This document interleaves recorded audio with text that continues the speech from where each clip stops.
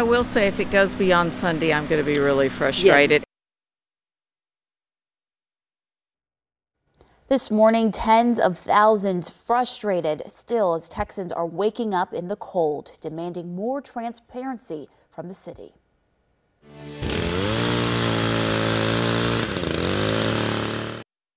And cleanup is underway across the city. Resources for getting debris out of your neighborhood.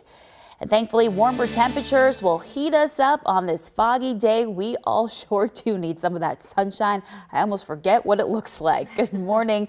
Thanks so much for watching KVUE Weekend Daybreak. I'm Dominique Newland. Meteorologist Grace Thornton is here after a crazy, insane weather week for you. I'm yeah. sorry this had to be your welcome to Texas for yeah, weather like, coverage. Growing up in Maryland, I'm kind of used to the ever-changing weather, but you know, I've been in Florida for the past two years, so right. I've been kind of you know, you know, it's been nice there. Yeah, you've been smooth sailing, but here, sadly, Texas, we ride that roller coaster we of do, unpredictable weather. It is always, always changing, and it's a little bit cold this morning. There's it some is. fog out there, but I have a promise for you guys. A change is coming for the afternoon. Right now, we are sitting at 39, so last time we checked in on these temperatures, we were at 38, so we are technically warming up just a little bit, and thankfully, we are warming up because our friends up there in New York are very, very cold this morning. Up towards New Hampshire, a record-setting wind chill was set this morning in Mount Washington at negative 108 degree wind chill. I literally cannot even imagine what that feels like. Now, thankfully, I don't have to imagine it because our weather headlines are looking pretty good. It's going to be a foggy morning. We do have that dense fog advisory in effect until 10 a.m. this morning, and then the return of sunshine comes back in this afternoon. However, or ongoing for the rest of the afternoon or the rest of the weekend, we've got sunshine on tap for Sunday and 70 degree temperatures. It sounds pretty nice. That sounds very nice, Grace. Thanks. Cannot wait for that warm up. As we know, thousands of Central Texans, they're preparing for their fourth day without power. And right now, around 76,000 Austin Energy customers still without power, and that's down from about 100,000 last night. Austin, Travis County, Williamson County, and Hays County have all issued disaster declarations to help with the cleanup. This is video from Travis County Starflight surveying the damage across Austin yesterday.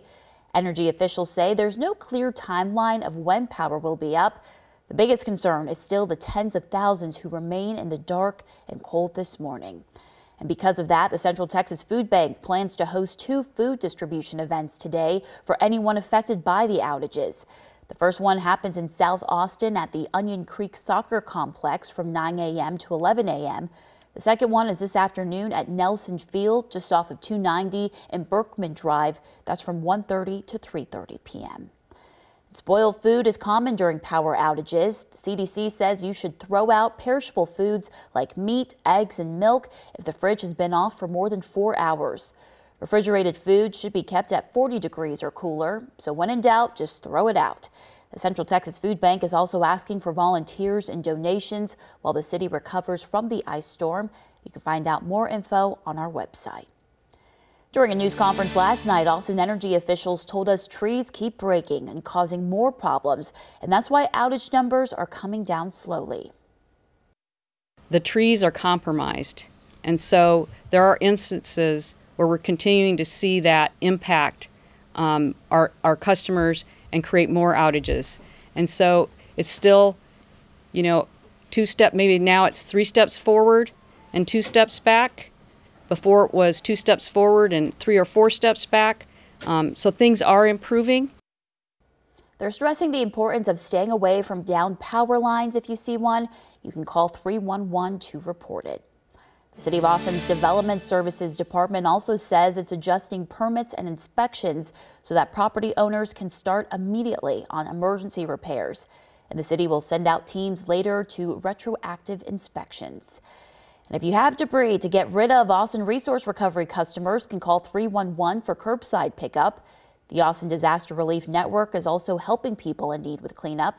For more information about that or drop off locations in other central Texas cities, we've posted more information on our website at kvue.com. And we sure know we have a long road ahead of us when it comes to cleanup. Just take a look at some of these photos Austin Parks and Rec tweeted.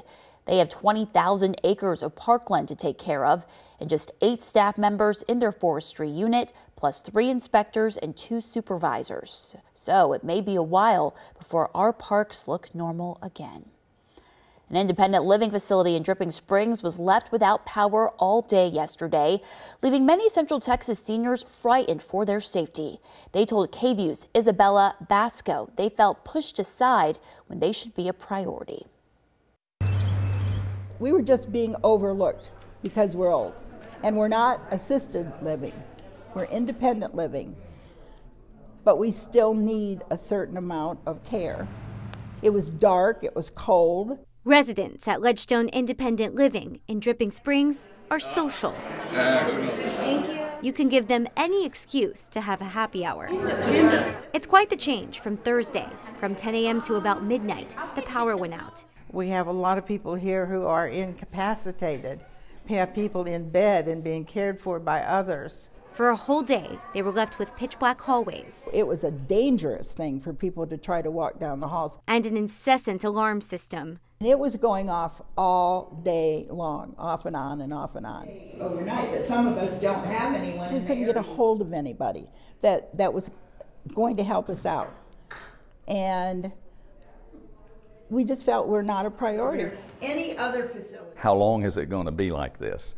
For residents like Dee Carp, it's a frustrating feeling. We want our voices heard when we have problems. We got a couple of hundred people here who this ought to be a relatively high priority facility for someone to check on. All they are asking for Somebody should have recognized that this was a place, if they had a temporary generator, they could have come in and at least give us the light.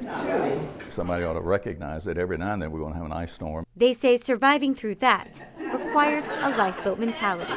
We're still viable people, and we just want to be treated as such. Ultimately, Ledgestone residents feel that local staff did everything they could to assist them.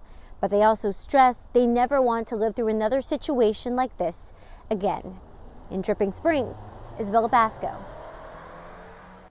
Ledgestone gets its power from PEC. In a statement, that utility told us it can't guarantee uninterrupted power, and it's encouraging customers, especially those with medical needs, to have an emergency plan that includes another way to access power just in case.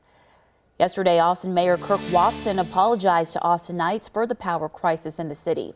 City leaders say they couldn't declare emergency declaration sooner because they didn't know how much all the damage around the area would cost. But I want to say again, the city let its citizens down. The situation is unacceptable to the community and it's unacceptable to me. And I'm sorry. A county must face more than $1 million in damages to declare a local disaster. Those declarations make federal funds available on the local level to go toward recovery efforts. And we will soon get more information from Austin leaders this afternoon at 3 p.m. Mayor Kirk Watson and Austin Energy leaders will be answering questions about the status of the outages and debris. We, of course, will have that for you live here on KVUE later this afternoon. And after months of chaos at the Dallas Zoo, police have a man in custody. They say kidnapped monkeys and messed with their leopard. According to police sources, once Dallas police got him talking, he wouldn't stop. And an Austin police officer is no longer charged with assault after the 2020 protests, new evidence that changed the DA's case.